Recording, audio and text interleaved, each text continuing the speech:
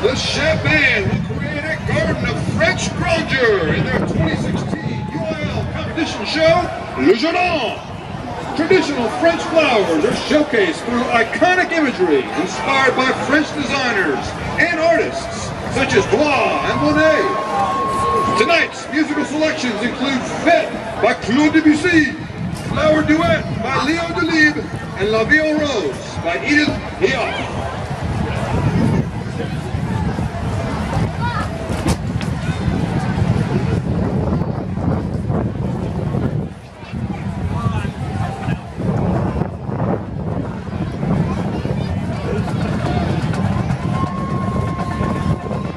Thank you.